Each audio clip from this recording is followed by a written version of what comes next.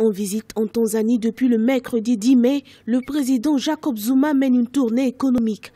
Invité par son homologue tanzanien John Magufuli, c'est une visite d'étape de 72 heures dont les enjeux sont importants pour l'Afrique du Sud. Sa rencontre avec le président tanzanien est le signe d'une volonté de renforcer les relations bilatérales entre les deux États.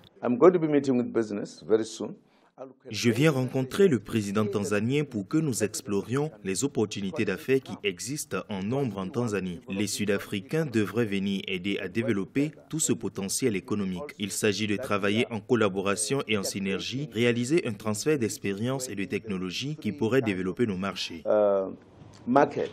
Cette visite annonce la signature de trois accords de partenariat sur la biodiversité, les transports et l'énergie. La Tanzanie possède par ailleurs de nombreux atouts encore inexplorés dans le secteur maritime.